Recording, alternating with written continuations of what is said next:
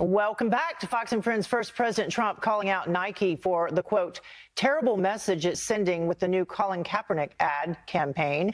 And he's not the only one. Carly Shimkus with Fox News Headlines 24 7, Sirius XM 115, here with the uh, reaction from uh, Nike and the NFL. Good morning, Carly. Hey, good hey. morning, Heather. Very good to see you again. Now, the NFL uh, may be desperate for fans to focus on football, but league executives are standing behind this ad. They're supporting it as well as the players who protest, saying in a statement, the National Football League believes in dialogue, understanding, and unity. The social justice issues that Colin and other professional athletes have raised deserve our attention and action. Now, a very different response from the widow of Navy SEAL Chris Kyle Kyle, who slammed the ad on Facebook, saying that Colin Kaepernick did not sacrifice everything as the ad suggests. She says, quote, how about other warriors, warriors who will not be on magazine covers, who have truly sacrificed everything. They also sacrifice the lives of their loved ones who will never be the same.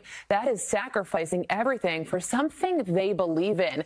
And reaction on Twitter still pouring in, many uh, taking to Twitter to express their outrage. Tony says, how's the stock doing, Nike? The stock, of course, dropped after this ad was released. Another Twitter user uh, saying, I'll never buy a product that Colin Kaepernick endorses. And Susan on social media also chiming in saying, no, Nike in my house. Still, the sports apparel company standing behind that ad saying, we believe Colin is one of the most inspirational athletes of this generation who has leveraged the power of sport to help move the world forward.